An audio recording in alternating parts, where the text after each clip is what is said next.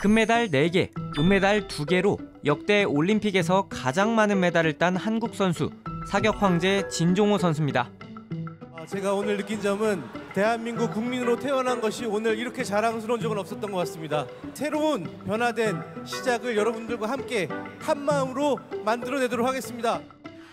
사격 황제에서 정치인 진종호로 변신. 국민의힘 최고위원에 당선되자 인생에서 가장 자랑스러운 날이라고 밝혔죠. 진 의원은 한 방송사에 2024 파리올림픽 사격 종목 특별 해설위원을 맡았습니다. 하지만 누리꾼들 사이에서 현역 의원의 해설은 부적절하다. 국회의원이 시간이 많은가 보다 등의 비판이 나왔습니다. 그러자 진 의원은 오늘 자신의 소셜미디어를 통해 맞받았습니다. 올림픽 영웅들을 격려하기는커녕 청소년 국대 선수들을 위해 상세한 중계 해설을 두고 여야 대립에 처한 현실에 오버랩을 씌우는 대한민국 국민 아닌 그들은 무엇입니까? 라고 물었습니다. 스포츠와 정치는 별개라면서도 오히려 누리꾼들의 비판에 정치적 의도가 있는 것 아니냐고 주장했는데요.